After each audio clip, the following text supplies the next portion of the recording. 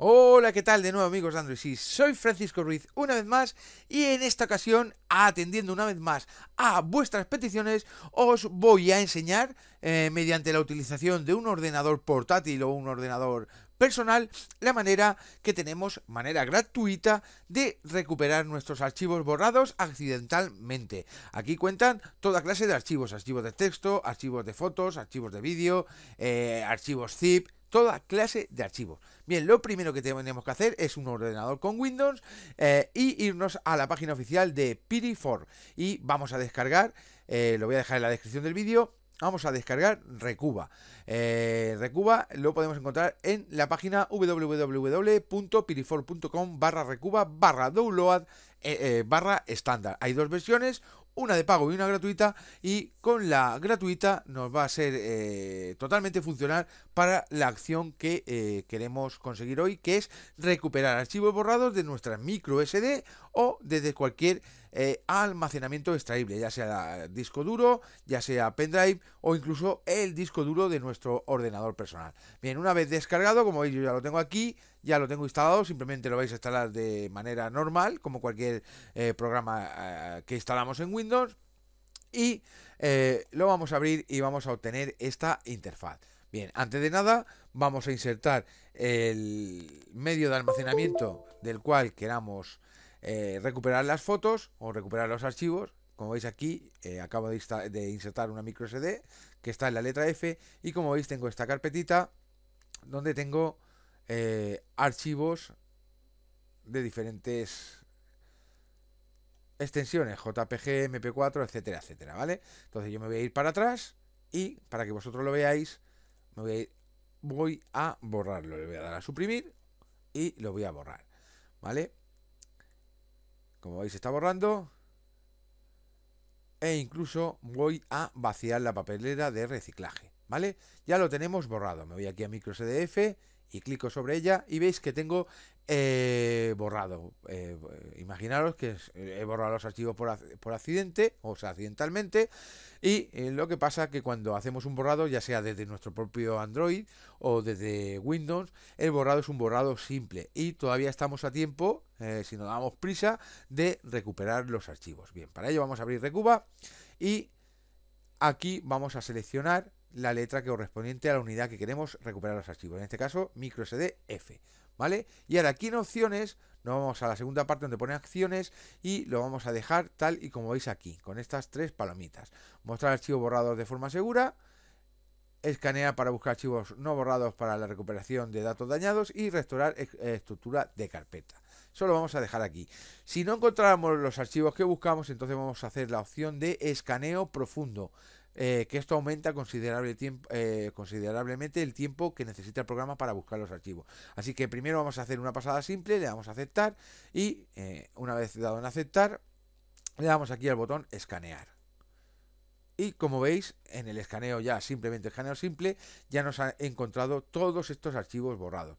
En teoría los de color verde son archivos, voy a abrir esto un poquito para acá, son archivos no borrados, no, esto de aquí no. Son archivos eh, borrados que se pueden recuperar de manera excelente. Los rojos son archivos borrados que no se pueden recuperar según el programa, son irrecuperables. Y los archivos en naranja son archivos que quizás se puedan recuperar, pero según pone aquí que es eh, un intento muy pobre de recuperación.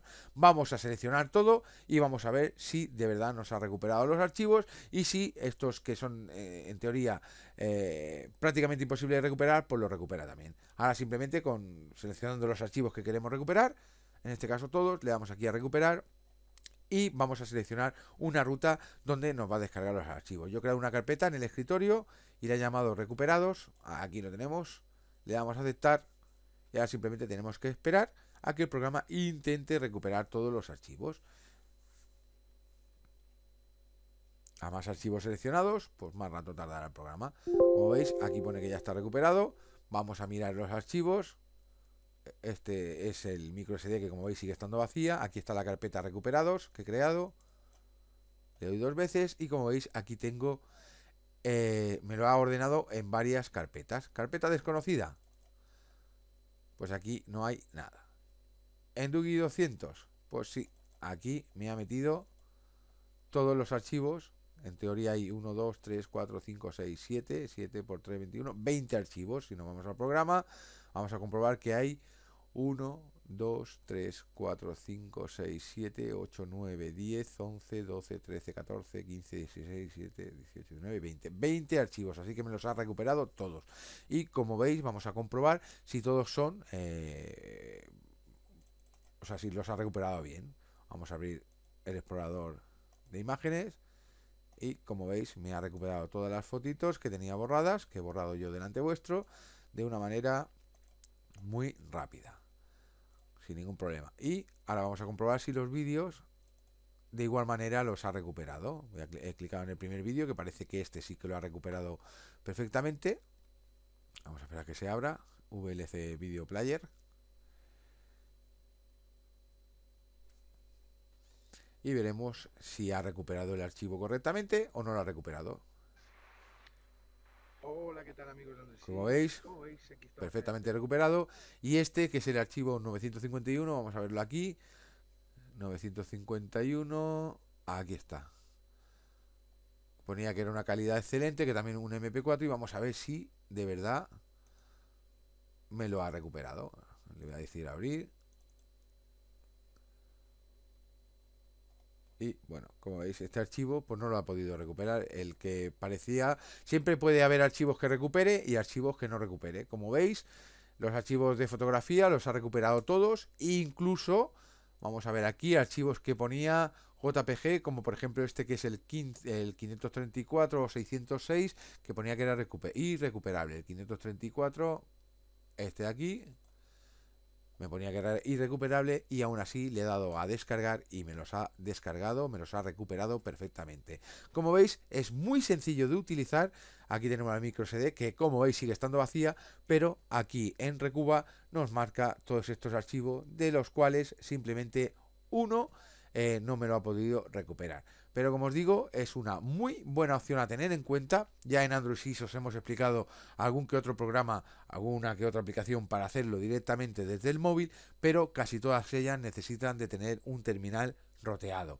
Eh, para hacerlo desde el ordenador simplemente sacaremos la tarjeta eh, micro SD que queremos recuperar los archivos o conectar el dispositivo y lo vamos a conseguir de una manera muy fácil con Recuba y siempre que no haya que no haga mucho tiempo que hayamos borrado los archivos.